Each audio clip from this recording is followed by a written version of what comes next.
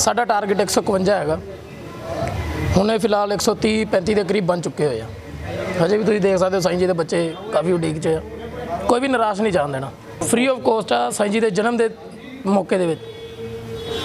ਅੱਜ ਸਾਈਂ ਜੀ ਦੇ ਜਨਮ ਦਿਨ ਤੇ ਇਹ ਤੀਸਰਾ ਅਸੀਂ ਲਗਾਇਆ ਟੈਟੂ ਫ੍ਰੀ ਡੇ ਵਰਲਡ ਦੇ ਵਿੱਚ ਸਭ ਤੋਂ ਜਿਹੜਾ ਹੈਗਾ ਵਾ, ਪਹਿਲਾ ਕੈਂਡੀ ਟੈਟੂ ਸਟੂਡੀਓ ਜਿਹਨੇ ਸਪਾਂਸਰ ਕੀਤਾ ਪੂਰੇ ਵਰਲਡ ਦੇ ਵਿੱਚੋਂ।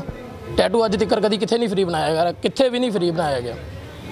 ਤੇ ਪਿਛਲੇ ਸਾਲ ਵੀ ਅਸੀਂ ਟੈਟੂ ਬਣਾਏ, ਉਦੋਂ ਵੀ ਅਸੀਂ 100 ਸਵਾ ਸੌ ਟੈਟੂ ਬਣਾਏ ਸੀ। ਐਤਕੀ ਅਸੀਂ ਟਾਰਗੇਟ ਵੱਧ ਰੱਖਿਆ ਸੀ। ਰੱਖਿਆ ਤਾਂ 250 ਦਾ ਸੀਗਾ ਬਟ 151 ਤੱਕ ਹੀ ਕੰਪਲੀਟ ਹੋ ਪਾਏਗਾ। ਯੂਥ ਨੂੰ ਸੰਦੇਸ਼ ਦੇਣਾ ਚਾਹੁੰਦੇ ਆ ਵੀ ਬਸ ਕਿਸੇ ਦੀ ਬਹਿਮ ਚ, ਭਰਮਾਂ ਚ ਨਾਣ ਲਗਾਂ ਲਾਣ, ਜਿੱਥੇ ਵੀ ਜਿੱਥੇ ਜਿਹਦੀ ਜਿੱਥੇ ਲੱਗੀ ਆ, ਬਸ ਉੱਤੇ ਲਾਈ ਰੱਖਣ।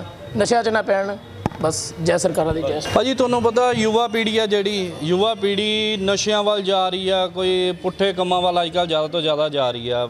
ਇਹਨਾਂ ਦਾ ਮੋਟਿਵ ਇਹ ਹੈ ਕਿ ਇੱਕ ਤਾਂ ਵੀ ਆਪਣੇ ਆਪਣੇ ਗੁਰੂ ਮਹਾਰਾਜ ਦਾ ਧਿਆਨ ਧਰੋ ਤੇ ਆਪਣੇ ਗੁਰੂ ਮਹਾਰਾਜ ਈਸਟ ਨੂੰ ਜਿਹਨੂੰ ਮੰਨਦੇ ਹੋ, ਉਹਨੂੰ ਮੰਨੋ ਤੇ ਨਸ਼ਿਆਂ ਤੋਂ ਦੂਰ ਰਹੋ, ਵੀ ਆਪਣੇ ਮਾਪਿਓ ਦੀ ਸੇਵਾ ਕਰੋ, ਸਭ ਤੋਂ ਵੱਡੀ ਗੱਲ।